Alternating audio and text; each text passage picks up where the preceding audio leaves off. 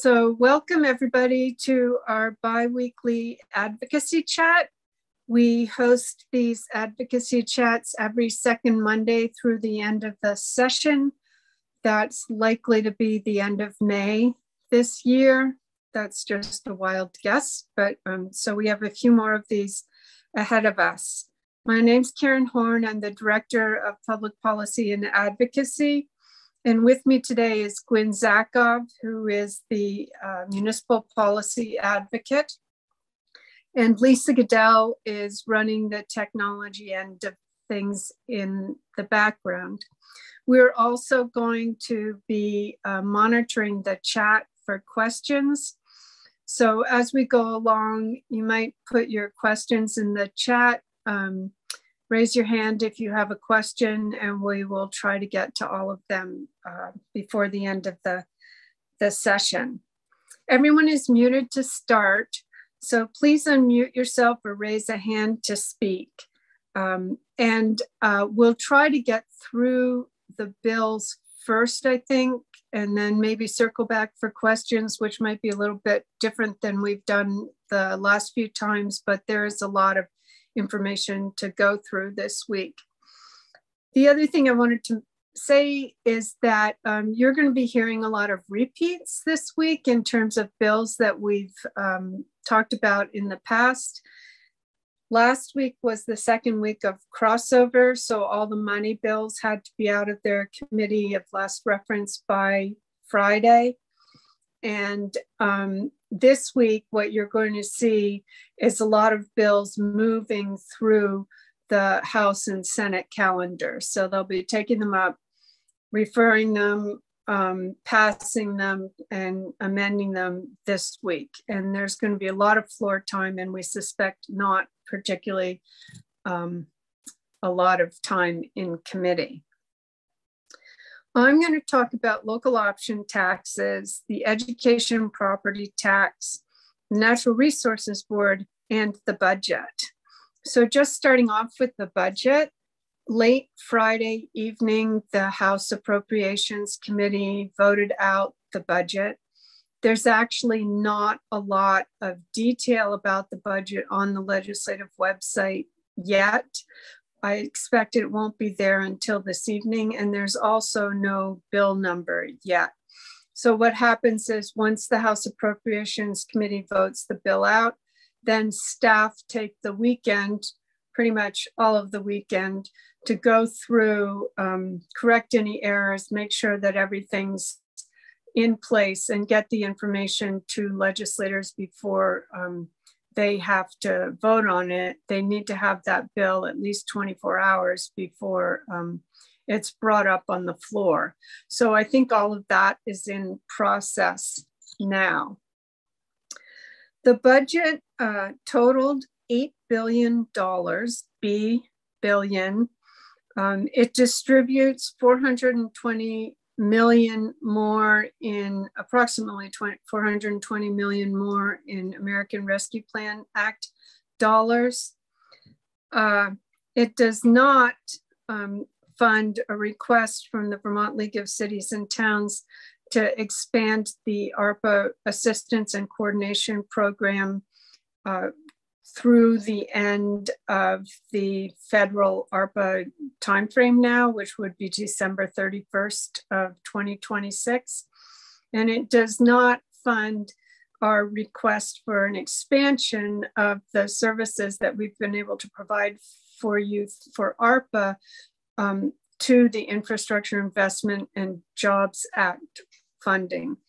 Our, our executive director, Ted Brady, was in Washington last week, actually in Washington, physically in Washington, and um, at a meeting of the National League of Cities. And what they're hearing from around the country is that towns um, really don't have the uh, don't know what they need to do in order to access dollars from the Infrastructure Investment Jobs Act for programs. Um, and there's a lot of uh, concern that they won't actually be able to secure any of those funds that are going through new programs to address a whole host of issue infrastructure issues from roads to climate change to, to um, all kinds of, of things, water, wastewater. Um, the, the other thing that is very apparent in Congress is that, and I don't mean to scare folks here, but um, that members of Congress are interested in clawing back some of those ARPA dollars, mostly from the state level where they haven't been spent yet. Um, but that uh, towns need to be cognizant of that as well. And, and we have urged caution. We've, we've asked you to be um, circumspect and put together your committees with community members to look at what your best funding um, priorities might be. That all remains true, but there is this um, in the background that, that we can't ignore. Uh, the one of the other things that was not funded, um, surprisingly to me, in the uh, House Appropriations Budget Bill was money to help with the missing middle um, housing um, initiative. And so there's a lot of money, uh, a huge amount of money going for affordable housing, for subsidized housing, for rehoming the homeless.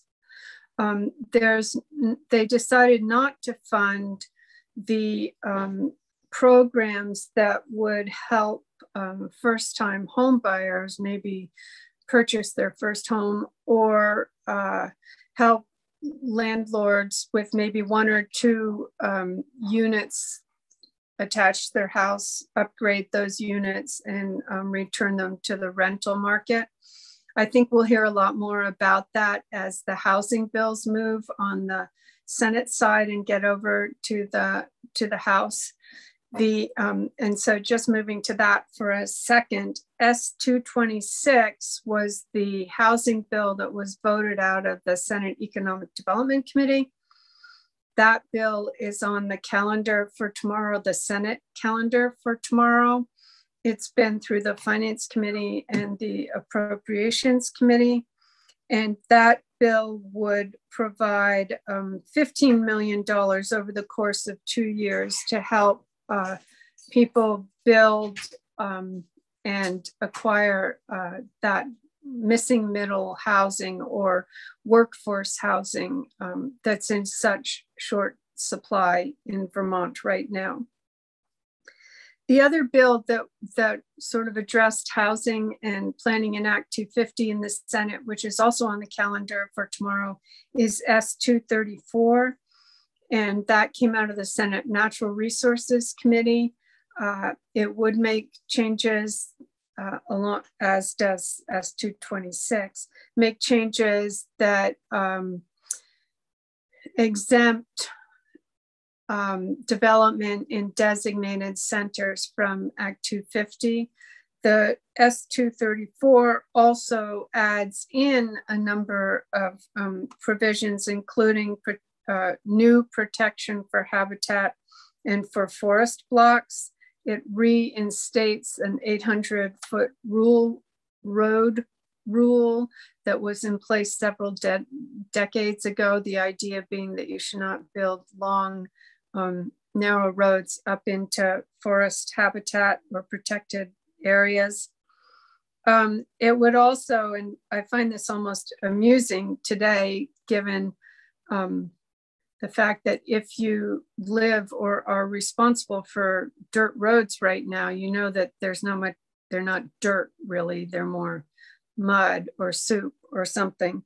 But the um, S234 would allow um, wood products industries to operate outside of operating hours from October 1st through April 30th. Um, I think there'll be more uh, coming on that front that would be as part of an Act 50 permit that a wood products industry logger um, or whoever would would get for um, operating their business. So that's kind of a jumble, but that's the budget and the housing bill in the Senate and the um, Act 250 bill in the Senate. I'll also mention that S210 is the bill um, that passed the Senate that includes the um, rental housing registry, a sort of much reduced rental housing registry, and would move jurisdiction for rental housing inspections from the local health officer to the Department of Public Safety. Um, and that bill also includes, S210 also includes money for um, housing, for the housing programs that have been proposed by the administration as sort of an incentive to sign S210 when it gets through the process. So those housing program dollars are not in the appropriations bill, they're in um, S210. Uh, I did want to talk a little bit about um, local option taxes. And so Gwen is going to talk to you about S181, which is the municipal authority bill. Um, but one component of that was language that would allow any town in the state to adopt a local option tax without having to get that approved by the legislature. So you wouldn't need to um, adopt a charter or amend your charter uh, and take that to the legislature for approval prior to um, the voters actually adopting and approving a local option tax. It's something that's been passed by the Senate um, many times before. Uh, early last week, it looked like maybe the Senate Finance Committee was not interested in supporting that um, measure this time around. But after discussions with us on Friday, um, they did support general authority to adopt local option taxes on a vote of 7-0. So we're very pleased with that outcome. And one of the two of the arguments that we um, used when we were talking to them is that actually there's already 76 towns, I believe, who, as a result of the passage of Act 60 way back in the day, that um, uh, um, revamped the education funding system in conformance with the, the Supreme Court Brigham decision. Uh, there are 76 towns that can adopt local option taxes without going through the legislative process, approval process today.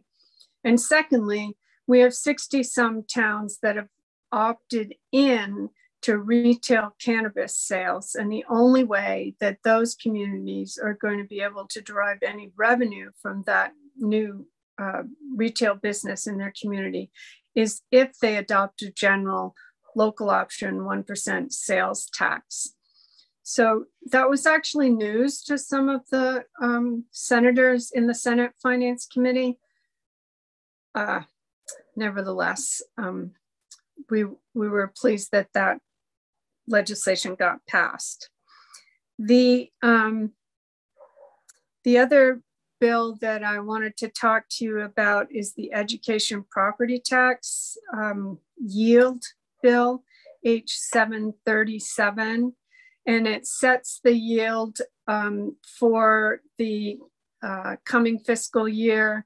It also um, states what the average um, homestead property tax is for the coming year and the non-residential property tax is established in that bill.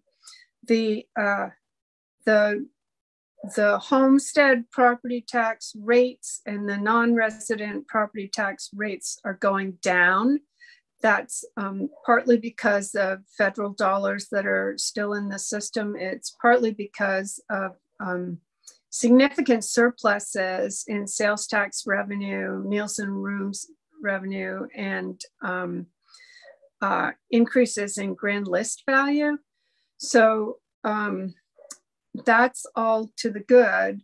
The bill would also include as an obligation of the education fund providing universal free breakfast and lunch to um, students in the K 12 system. We agree that that's a, a worthy goal, that that's an important consideration for the education committee to decide if that's something they, they think is necessary. Um, but putting that obligation essentially on the property tax is using an inappropriate revenue source. And um, if you recall the way the property, the education property tax is structured and the fund is structured, um, two thirds of the education fund is property taxes from the education property tax. And one third of the education fund is made up of all those other sources, meals and room tax, sales tax, and, and uh, um, other revenue sources. When there are shortfalls in the other revenue sources, which is not the case this year, but is likely to be the case at some um, year in the not so distant future, the property tax makes up the difference. It's the fallback revenue source, and that, that's just the way the program is set up right now. So if there are shortfalls and if this obligation for um, funding meals is part of the education fund, then um, it would be the education it would be the education property tax in years down the road that would that would pay for that. So um, that provision is still in the bill as it was voted out of the House Ways and Means Committee. They did hear our concerns around that and um, they said they shared them, uh, but I don't know how they're going to um, account for that in the in the end. The other thing to know about the yield bill H737 is that every year it passes the House before all the information about school district budgets is available to the Agency of Education. And so they don't have final numbers on what the increase in school district budgets are or what the per pupil um, cost is or um, what the total amount of money that's going to be needed by the education fund is at the point when that bill passes the House. And so it's going to continue being refined in the Senate. And it may be when more of that information is available. And it may be that they make some adjustments over in the Senate to address this um, new obligation in the education fund. Uh, let's see. I did want to um, take just a moment to um, mention H492. We haven't followed that bill particularly closely, but it's come out of the House Natural Resources Committee and is on the House floor this week. That is a bill that would revise the um, Act 250 board. So right now you have a natural resources board. Um, the chair is full-time. The other members are um, per diem from um, around the state.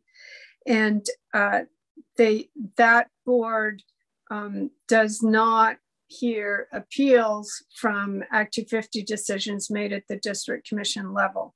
That used to be the case. H492 would return to that circumstance so that you would have a, they would actually establish a five member professional board, um, full time members, and that board would hear appeals of Act 250 decisions at the um, made at the district commission level. Those decisions right now are heard by the environmental court. It's been a very cumbersome, um, lengthy process with long wait times. Um, and, uh, and according to uh, some people very inconsistent decisions from one district to another. So the idea is that not only you would move the appeals back to the environmental board where they are more focused on the uh, Act 250 law, but that you would get more consistency in decisions from one district co commission to another. So that's that bill. And I think at this point, I will turn it over to Gwen and she will fill you in on a lot of other bills that are moving. Karen, we do have one question in the in the chat, so let's just get to that first before I, I go. It's um, from Steve in Barre City. What guidance, if any, does VLCT or the state have for the IIJA, the Infrastructure Jobs Act? Well, um, there is not a lot yet, and that's part of the that's part of the problem. So um, we we're hoping to get more information on the funding streams and how they're going to be dispersed. Some of the um, IIJA monies are going through existing programs, transportation programs that when we'll talk about in a minute, um, water, wastewater, stormwater, but there are a lot of new programs where the details have not been finalized um, at the federal level.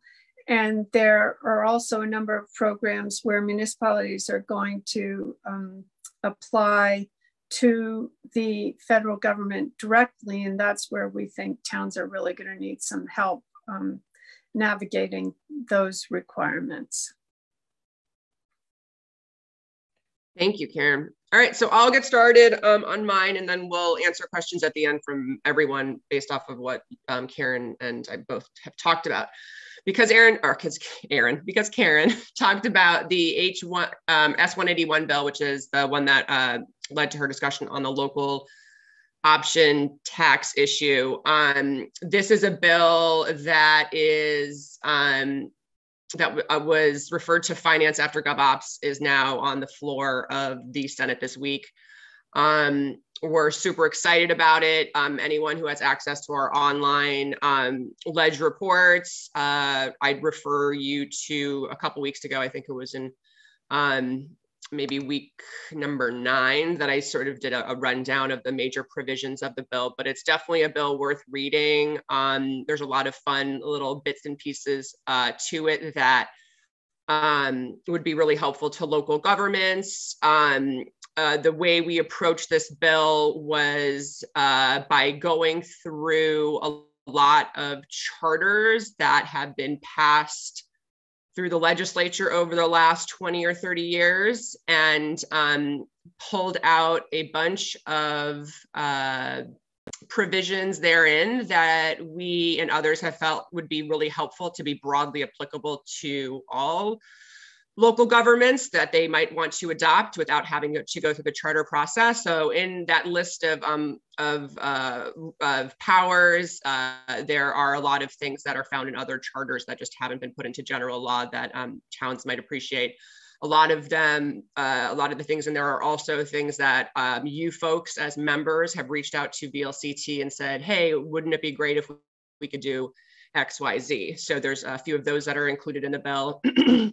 and um, uh, there's also some some stuff in there that was just uh, we saw as clarification language of underlying general law that would make your lives a little bit easier in terms of um, of being um, in compliance with general law authority and not having to operate in sort of a gray uh, language area. So within that bill, obviously there's this a provision that allows all towns and cities to adopt a local option tax without having to go through the charter process and getting legislative um, approval.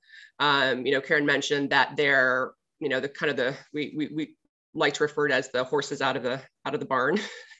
um, there are those towns that were the Act, Act 60 towns, but since then there are tons of tons of towns and cities that have adopted local option taxes um, that uh, are not those Act 60 towns. So um, our position is that, you know, in terms of equity and, and allowing everyone to have equal access, it should be available to everyone and not have to go through individual approval through the legislature.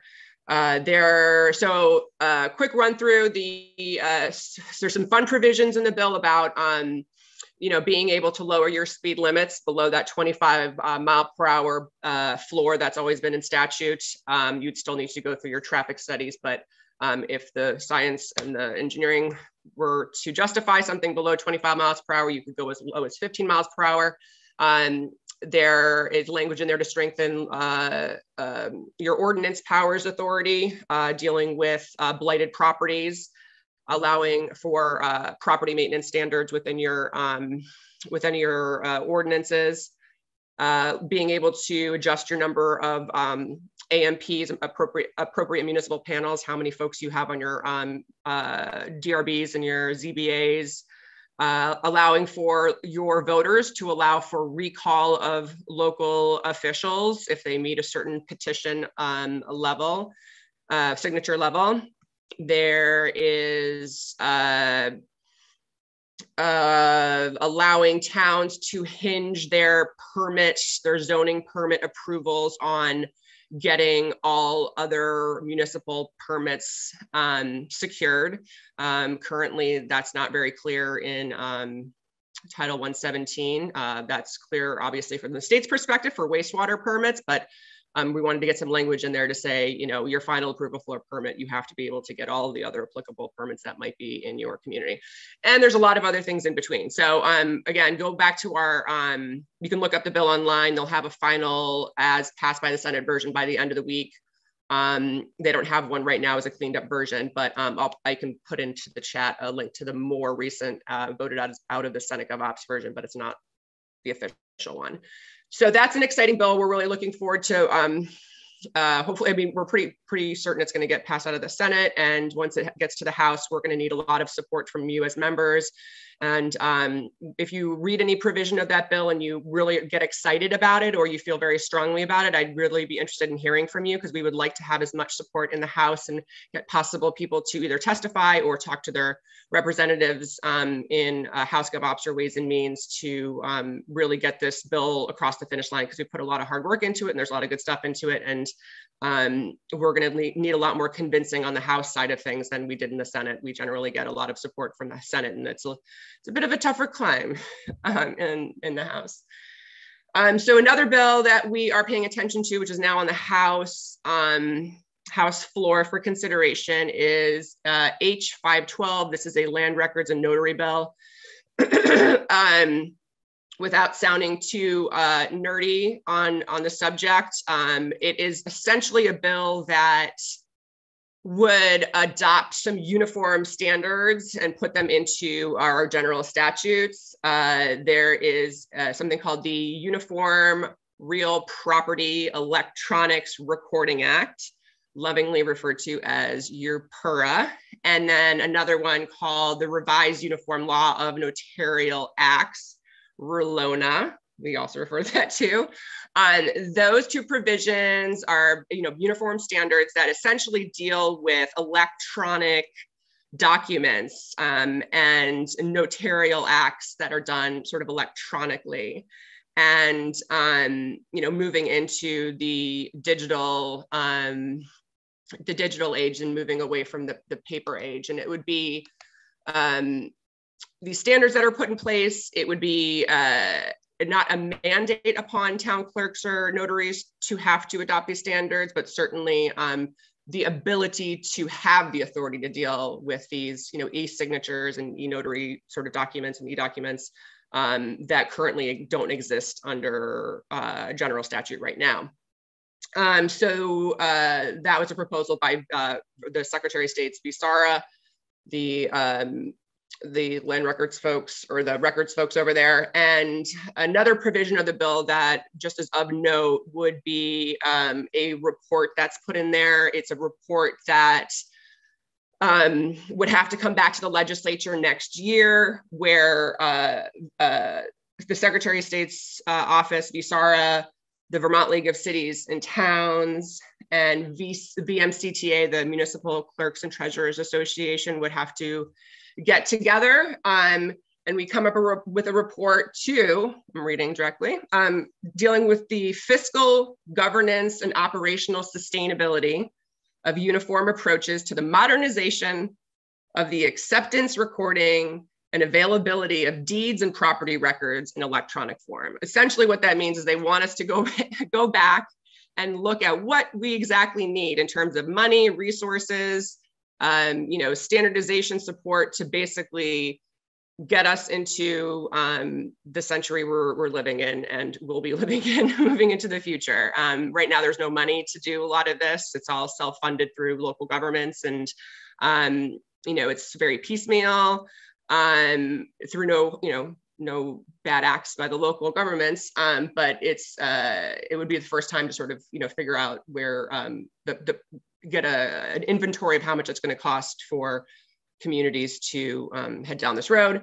Um, another provision of the bill would actually add a new position to uh, the Secretary of State's office, which is great. It's a new position to help with the implementation of uh, H512, which is uh, really, really needed. And um, it will be an individual that, that will be available to notaries and uh, town clerks and those that have to deal with land records and deeds and those sorts of things um, to help maneuver um, through those laws.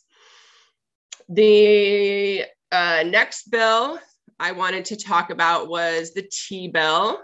This is the transportation bill that um, we're really excited about in, in a lot of ways, underwhelmed in other ways. Um, but I wrote about it in on Friday, I believe, in our ledge reports. You can read that there as well. But uh, suffice it to say that I, I, was listening to the report from the House Transportation Chair and Vice Chair to the House Appropriations Committee when they were um, getting their um, money um, provisions before that committee. And it was sobering and it was sort of a, a, a, theme that has gone on since the beginning of January when they began consideration of the T bill. But um, the chair very clearly said that um, the transportation fund and the transportation um, situation, even when you take into account the monies that are coming in from the federal government, um, is, is, an, is an okay shape this year, meaning that they're able to fund what they need to fund. But the financial outlook looking into as soon as next year and beyond is not not great. Um, and that they are looking at a funding shortfall for next fiscal year fiscal year 24 um, to basically do base transportation funding. I mean we're talking about just covering your bases nothing more no nothing extra. They're looking at um, a, a gap between anywhere between 40 and 80 million dollars that they just don't have in their budget right now.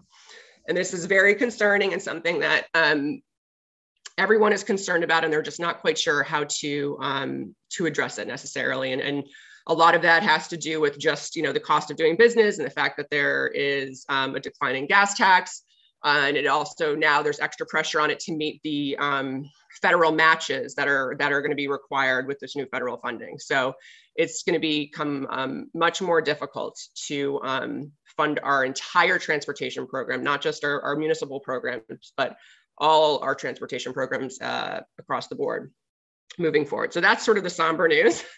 Um, within the current bill, the T bill, is the, the number of the bill is H736. Um, and there is a strong theme within the bill to include a lot of measures dealing with carbon reduction. Um, you know, this this this world that we're living in, where we're we realize that our transportation um, networks are creating the biggest uh, problems for um, carbon emissions. So there's a lot in that bill that deals to address those issues, and that this has started. And a lot of the pro- the funding that is in that bill is just a continuation of current programs um, that are um, that are in existence, and then a few um, instances of new of new um, programs uh, out there. So they have about $20 million for electric of electric vehicle supply equipment grants. So those are charging stations. Uh, invest they're investing over just over $20 million into new electric vehicle incentive programs for um, buying um, electric vehicles, um, more money for the incentive pro or for MileageSmart for the replace your ride program, for purchases of new e-bikes, e-snowmobiles, and e-ATVs.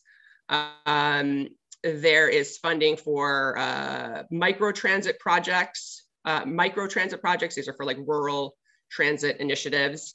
Um, another $1.4 million was put into zero fare public transit to fund throughout the rest of this year um, because money had dried up in that. They want to continue it on. Um, there's a new pilot program for um, bike, uh, building out bike and pedestrian infrastructure and directing the agency with uh, in coordination of regional planning commissions to um, uh, get the news out to local governments about what monies might be available and what initiatives might be available to deal um, to address some bike ped um, projects that they might have um, in their communities. There's language in there dealing with um, some cleanup language about right-of-way accesses and um, that at the state level, this is not dealing with right-of-ways um, access permits at the municipal level, but um, just some cleanup language there that I, I, I, don't need to get into detail now, but it's essentially what that language is. It's, it's cleanup language from um, statute. There is language in there that was added late into the bill about bridges, uh, covered bridges specifically. Um, this was put in by the vice chair of the committee, uh, Representative Butch Shaw, who uh, represents a district where there are a lot of covered bridges who get damaged quite frequently. And um, they're putting their foot down. they're getting mad that the statute has not been updated in quite some time. Um, and the penalties for um, injuring, uh, for tickets um, that you can issue and penalties issued for damage to um, covered bridges is was very, very low.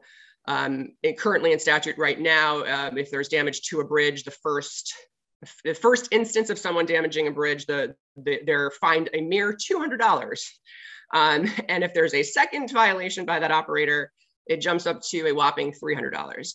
The proposal on the table would be to increase that violation, uh, first violation to $1,500 for a first violation, um, or a first violation could be as high as $2,000 if they, um, if what they did substantially impedes the flow of traffic. So if they stop traffic because they're stuck, um, that drops to 2000. And then um, the fines are then doubled if there is a second offense. Um, so that is, uh, that's good. There's also a very small section in the bill very end, I think it's section 50, 50 or 51, that deals with, um, uh, it's, I believe it's just a sentence or two that deals with um, Title 24 and allowing municipalities to um, recover the cost that uh, goes into providing rescue services to aid stranded operators or to move disabled vehicles um, from the roadway. So this would allow your public safety services that are engaged like fire departments and whatnot to recover the cost of providing those services. Now, in terms of funding, uh, the local funding measures in the bill are um, really good for bridges. So the bridge program was funded almost double what it had been last year. This is 100% thanks to the federal government funding um, the IIJA to allow for um, 15% of all of that bridge money uh, mandated to go to um, basically local projects off network, basically off the state um, Fed network projects. So you're going to see a lot of um, bridges that are in the white book, the binder that are kind of in the queue, um, get funded um, the next fiscal year, and they will be funded at 100%. That was another mandate in that Fed bill was that they had to be paid, uh, they had to be funded at 100%. So that's going to um, expedite a lot of the uh, bridges, bridge projects that have been, you know, waiting in the queue patiently. Um, so that's exciting. The rest of it in terms of funding is a little bit of a ho-hum at the local level. All of the local um, grant programs and our town aid, our general town aid, were um, funded at statutory mandated levels. There was no bumps in funding. They were recalibrated to basically just what the statute says they have to be funded at. Um, so what that really means is that uh, you're going to see uh, a tiny bump in um, local aid, general local aid, but really not have a bump because um, they had double funded, I shouldn't say double funded, they had readjusted um, the payments to towns uh, because of COVID. They had had that suspension for that six month period and then uh, put it back in 2021 and now um, the what you're seeing this year um, or what you will be seeing in the this assuming assuming this goes through the senate and it's adopted as is what you will be seeing is sort of a, uh, a readjustment to sort of normal levels um, so that's the um, so that's the news on the T bill front. Uh, the bill is uh, uh, moving through the House, and um, then it's on to the Senate again. So um, that's exciting. The last thing I wanted to talk about was uh, regional dispatch. So there is a um, so this is also a part of the uh, the budget bill that Karen had mentioned. Um, there's been a lot of discussion about uh, this regional dispatching plan that's been proposed from the Department of Public Safety and the commissioner. A lot of buzz in the state house and a lot of conversations um, between a whole, a whole host of stakeholders um, at the public safety level um, and now more increasingly at the local level um, outside of just the public safety folks. But essentially the proposal would be to um, fund a um, program of sorts to allow DPS to sort of fade away from the um, from their role as a dispatcher for non-state public safety agencies.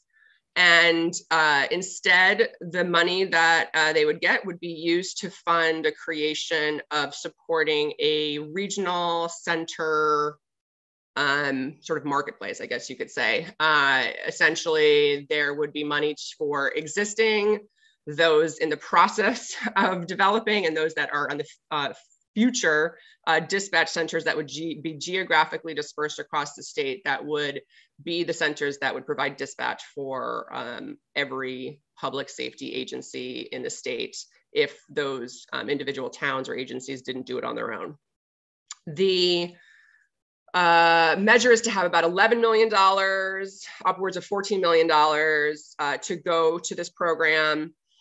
Uh, the final recommendation coming out of the uh, House Government Operations Committee, uh, they looked at it on Friday, um, was to essentially uh, create a, a working group um, that would look at how the proposal would be funded um, past that initial influx of money at the state level.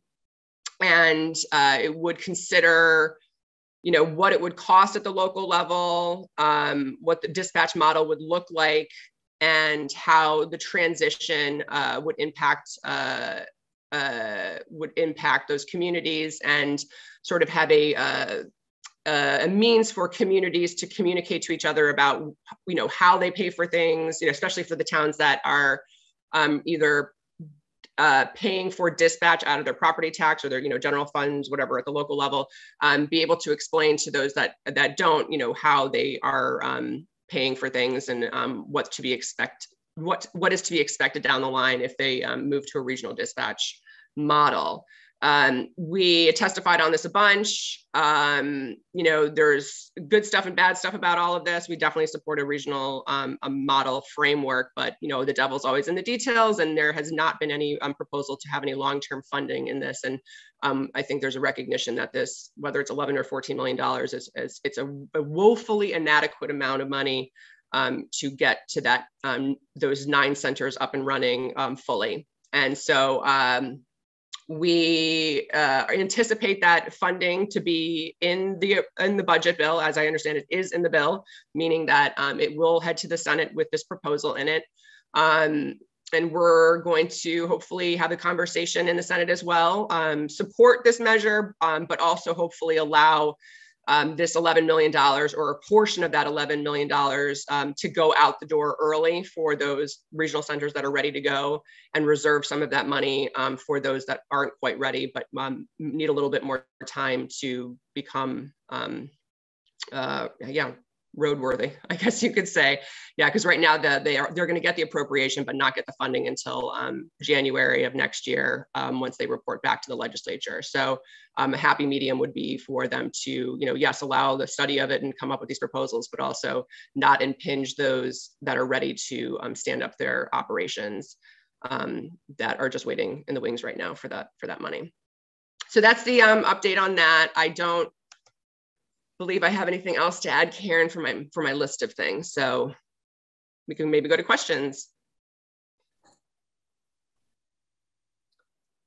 So are there any questions? Um, Gwen and Lisa will see if there are any questions. Or if you have other bills that we didn't mention that I see there's a there's a question from uh, Art. Does VLCT support H512? We do support the bill. We've been working with the Secretary of State's office on that bill with the clerks as well.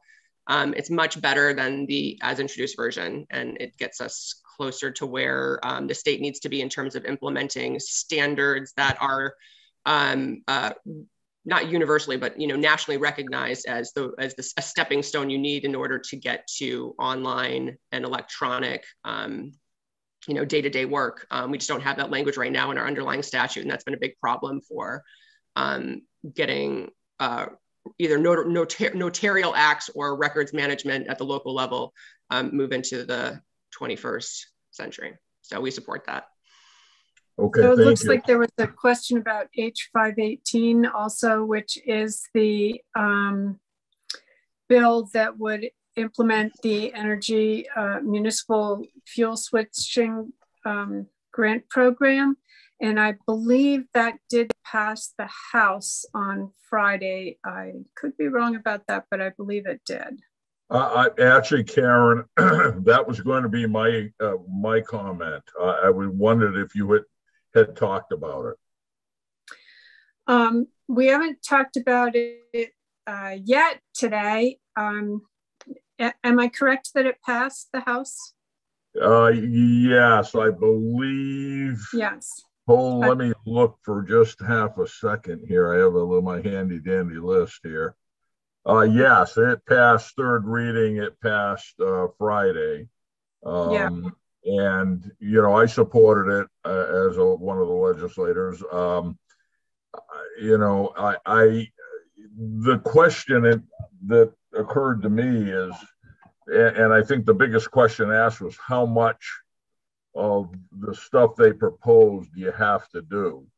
In other words, they, they're going to come in if it. And my example was, you know, the towns I represent all have older town halls if you wanted to upgrade your heating system in that town hall, uh, and that's all you really wanted to do, they're going to come in and give you, you know, a whole song and dance about many, many energy options from from A to Z.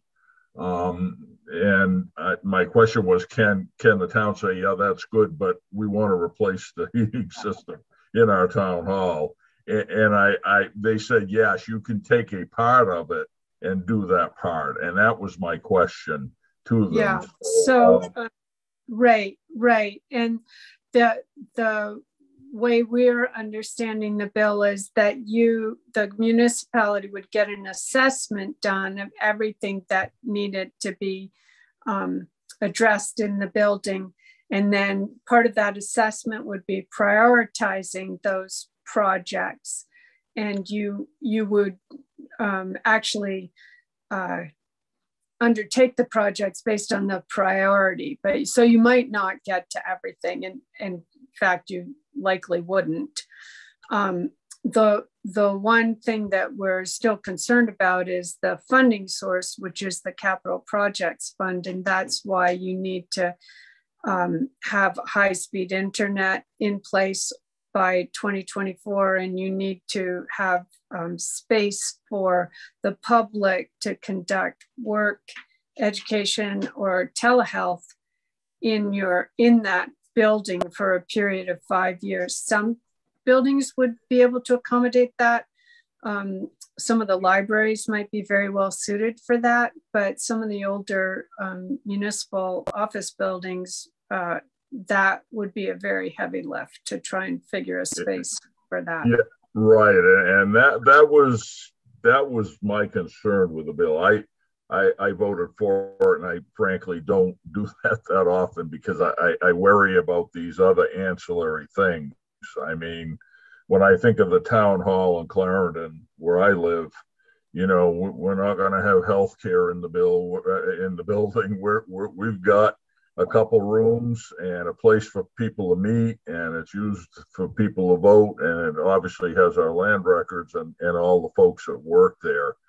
Beyond that, I mean, I, I hope they don't tie a lot of things to what they what they want. I mean, I, I think a lot of places will want a specific um, thing done around heating, a, a, specific, you know, we, we want the heating system upgraded so we're not paying a lot in oil, and, and that's laudable and, and, and good. Uh, if we have to do a lot of other things that tie into, yes, you can have the money, but we want you to X, Y, and Z, then that makes it less good. So, yeah, yeah, we, we, we did have similar concerns about that. One of the other um, requirements is that the building be ADA compliant upon completion of the project. And that actually is a pre-existing requirement. Excuse me, I have a dog whining. that is a pre-existing requirement um, of the federal law that building, public buildings be ADA compliant. Here, we have a handout from Peter Berger.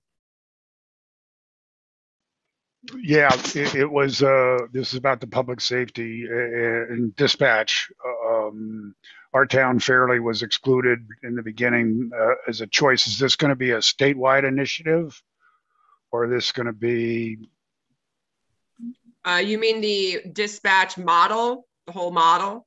Correct, because there there's some towns that are on state dispatch, and there are other towns like ours that that aren't. Right. So the proposal is if you are one of those communities that is, there's a pro, or I shouldn't say communities or agencies, it's not just communities. Um, but uh, if you're one of the 105 or so agencies that is either full-time or part-time dispatched by the state police, the idea would be that the state would no longer be dispatching for those agencies and the funding would put into place a regional framework where existing dispatch um, entities and future to be to yet to be stood up regional right. entities would fill in um, fill in for that role right because that's uh, i mean we've i've tried to get on the list to get on state dispatch but have been denied the so, state so, has, I don't remember for exactly how long, but the state for at least four or five years has correct had a, you know, do not add correct um, policy. So there, they are, you're right. There's no new entities being added to that list. I did just want to circle back around to Anne's um, question about the ADA. Um, I, I think it would be difficult for um, for the program to say you don't need to be ADA compliant because it's using federal dollars and that's a federal requirement. We did hear from, I believe it was the town of Castleton about what the cost would be to make their building, or at least a portion of their building, ADA compliant if they had to install an elevator. And it's a, it's a significant um, cost, which is why, of course, so many buildings haven't been able to achieve it yet.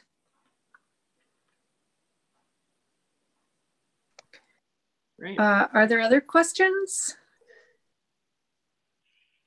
Any other questions from folks? No. Well, um, if not, I would say thank you once again for joining us. Um, talk to your legislators about the, the details of all these bills. If you um, have any uh, thoughts about um, using any of the mechanisms that would be provided in S181 under new municipal authority, make sure that you talk to your House members about that because it's been um, fairly smooth sailing, I would say, with that legislation in the Senate. But as Gwen said, our um, difficulties are going to be in the House, in the government operations and ways and means committees. Yeah we generally in the senate can and you know vlct can testify and, and we kind of you know speak for the trees we're the lorax for you folks but and that that tends to work okay in the senate but in the house they really love hearing from their local officials. So really talk to your your local reps and if you really feel like you are feel excited about this bill please reach out to me and i'd love to talk to you one-on-one and maybe get you um, either written testimony or um, in the queue to testify and just to have a face to um, um support the bill. Yeah Okay. Thank you. Thanks, everyone. Stay dry on those mud roads.